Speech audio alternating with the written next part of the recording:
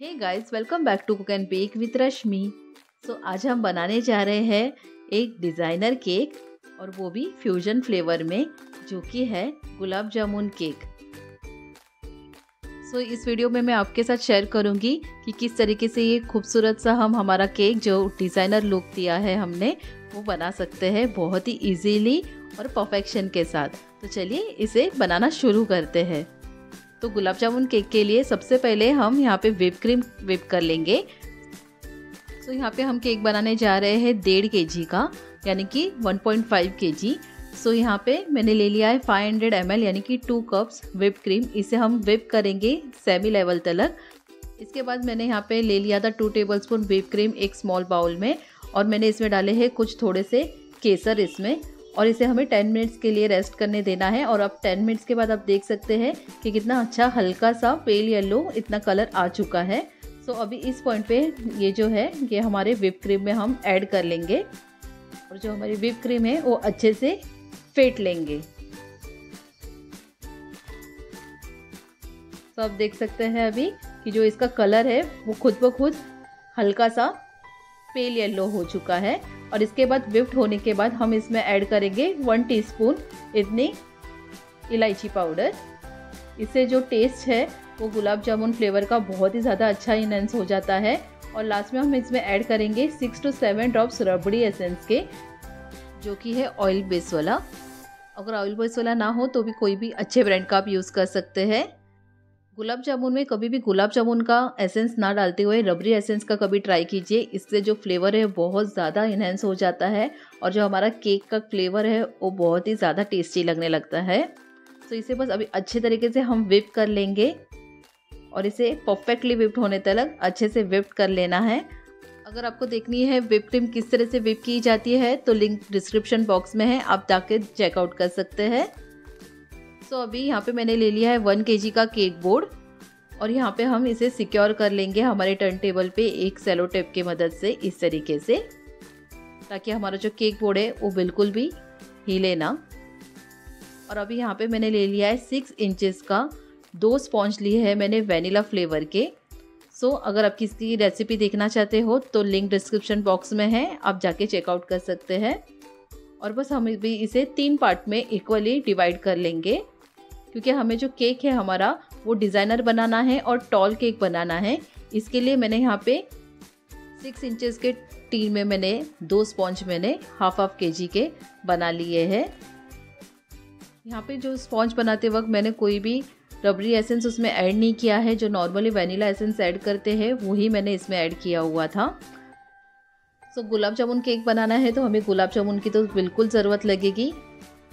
तो यहाँ पे मैंने हल्दीराम ब्रांड के गुलाब जामुन ले लिए हैं। आप चाहिए तो घर पे भी बना सकते हैं और वो गुलाब जामुन भी यूज़ कर सकते हैं।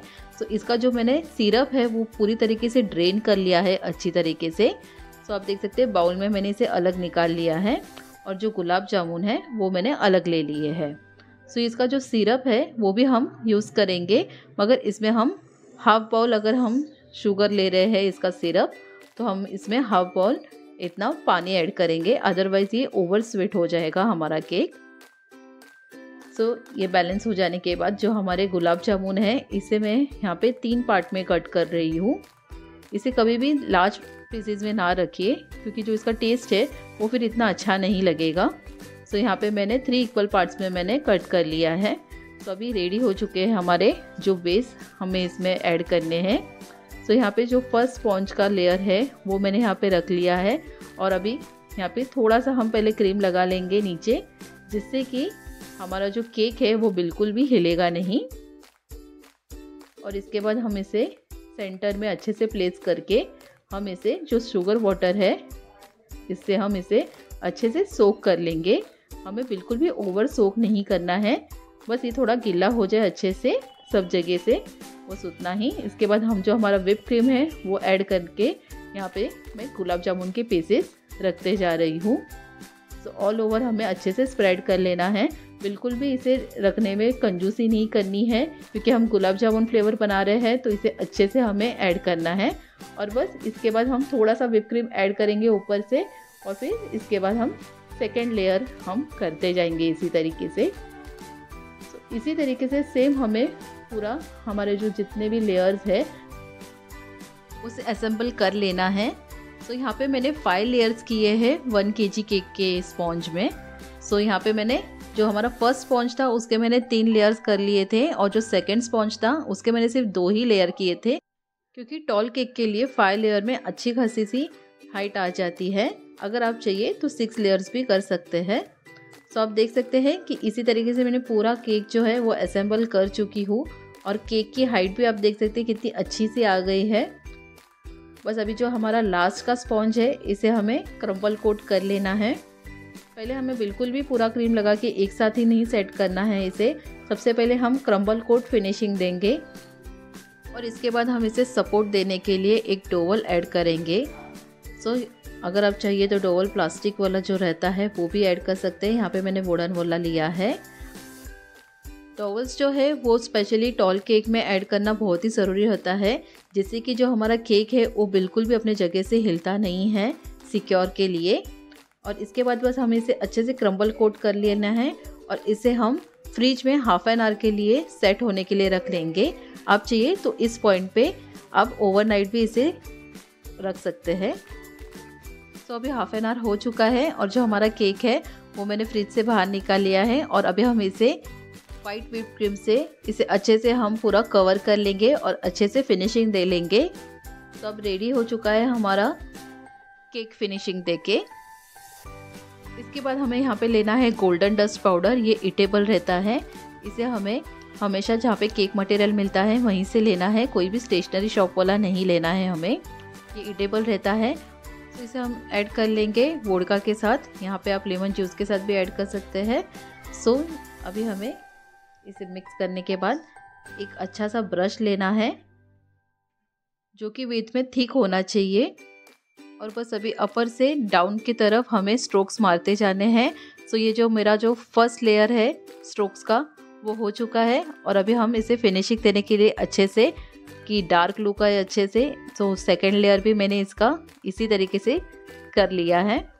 तो आप देख सकते हैं कितने अच्छी तरीके से ये शो हो रहा है। और अभी यहाँ पे मैंने ली है एक डिज़ाइनर लेस ये कोई भी शॉप पे अच्छे से मिल जाती है अदरवाइज़ केक शॉप पे भी मिल जाती है। तो यहाँ पे मुझे जिस तरीके से चाहिए थी, उतना मैंने कट कर लिया है।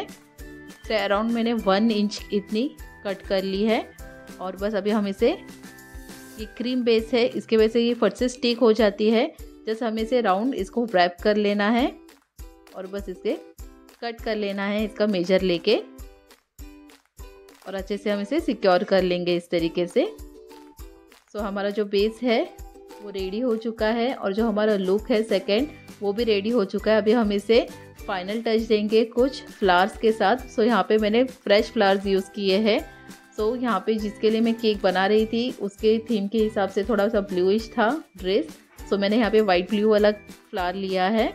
और इसके बाद हम लास्ट में इसमें स्प्रिंकल्स ऐड कर लेंगे और एक अच्छा सा टॉपर ऐड कर लेंगे। सो रेडी हो चुका है हमारा डिज़ाइनर केक सो आप देख सकते हैं कितना प्रिटी और ब्यूटीफुल लग रहा है हमारा जो केक है. और इसका जो फ्लेवर है, वो बहुत ही ज़्यादा टेस्टी लगता है. और अगर आपको डिटेल रेसिपी देखनी है वेनिला स्पॉन्ज की how to whip cream perfectly और इसके जो स्मूथ एजेस किस तरीके से किए जाते हैं तो ये सारे वीडियोस ऑलरेडी मेरे चैनल पे है. मैं डिस्क्रिप्शन बॉक्स में इसकी लिंक शेयर कर रही हूँ. आप प्लीज़ इस पर चेकआउट कर सकते हैं. तो चलिए, अगर आपको मेरी रेसिपी पसंद आई हो तो इसे प्लीज़ लाइक कीजिए शेयर कीजिए और मेरे चैनल को सब्सक्राइब कीजिए। तो चलिए, फिर मिलते हैं अगली रेसिपी में। तब तक के लिए थैंक्स फॉर वॉचिंग